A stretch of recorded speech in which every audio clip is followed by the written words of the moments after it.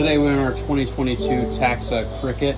Uh, we have been working pretty hard on trying to help with the organization of this trailer, but really want to uh, kind of get it ready for us and what we're going to use it for. Uh, so first we start off with this little corner basket. Don't know if that's going to stay. I really like this milk crate system that they've got going on um, because it's one of these breaks. You go and buy another one from Walmart for a couple of bucks.